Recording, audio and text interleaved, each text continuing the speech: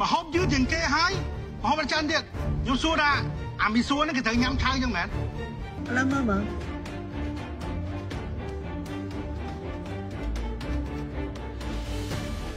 នេះជាការតុបតែងម្ហូបឬក៏គ្រាន់តែយើងធ្វើឲ្យដាក់ចូលដាក់ចូលញ៉ាំមក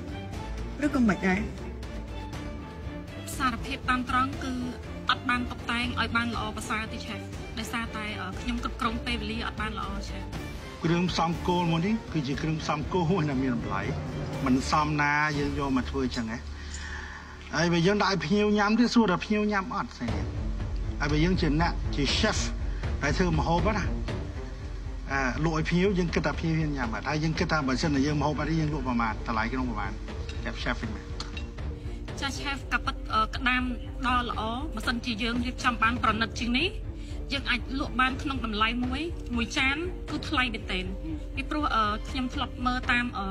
បណ្ដាញសង្គមឃើញម្ហូបមួយចានដែលឆេฟល្បីល្បីៗគាត់ធ្វើគឺលក់បានក្នុងតម្លៃដែលថ្លៃមែនទែនហឹមចាតែឥឡូវម្ហូបមួយចានរបស់យើងនេះយើងគិតថាលក់បានមែន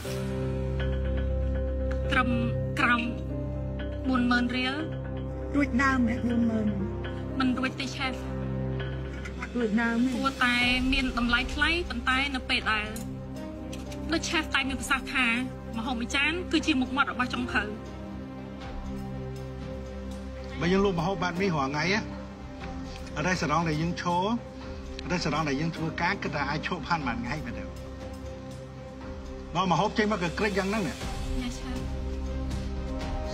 45នាទីចេញមកម្ហូបឡើងក៏ក្រិច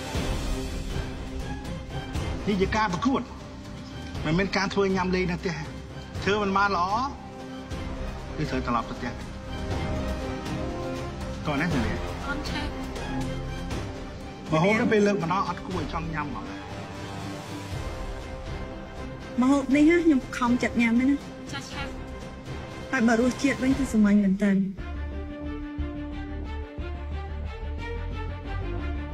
ចាអរគុណកូន chef